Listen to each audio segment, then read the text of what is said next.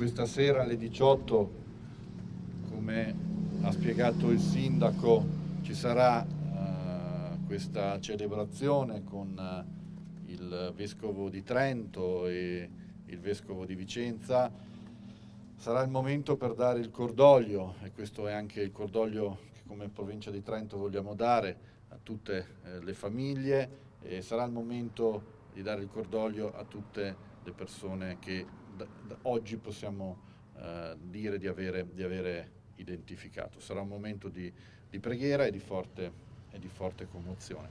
Io voglio ringraziare tutti coloro che ancora stanno lavorando in questo momento, le istituzioni dello Stato, le istituzioni della provincia autonoma eh, di Trento, i volontari che hanno fin qui eh, lavorato e che lavoreranno ancora nei prossimi, nei prossimi giorni.